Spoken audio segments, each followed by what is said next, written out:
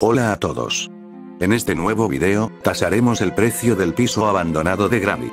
El piso abandonado o habitación del cuervo, está actualmente deshabitada, ya que Granny no la suele visitar. Se sabe que antiguamente este lugar era una cocina, y que contaba con un comedor, que actualmente también permanece abandonado. También tenía un mueble, que posteriormente Granny lo eliminaría, reemplazándolo por cuatro tablas de madera.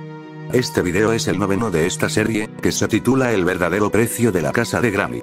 Les dejo aquí arriba el enlace de la lista de reproducción para que puedan ver las anteriores partes, que también son muy interesantes.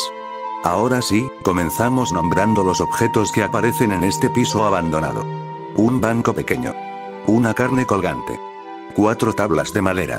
Un banco grande. Un cuadro. Dos ventanas pequeñas. Una chimenea. Dos barriles. Dos cajas de madera.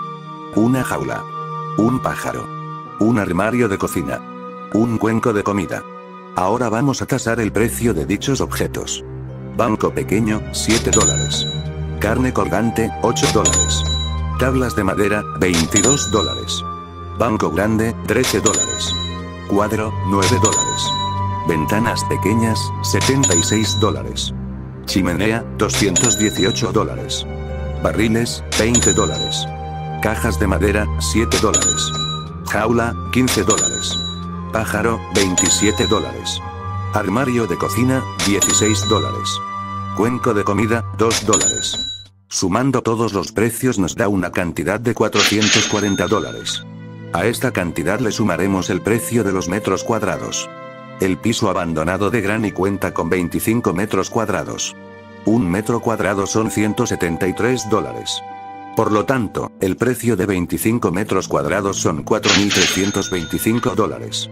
En conclusión, el precio del piso abandonado es la suma de ambos precios, es decir, 4.765 dólares. En el próximo video, tasaremos los lugares extras de la planta baja y haremos una tasación completa de dicha planta. Espero que les haya gustado. Apreciaría mucho vuestro like y suscripción. Nos vemos en el próximo video.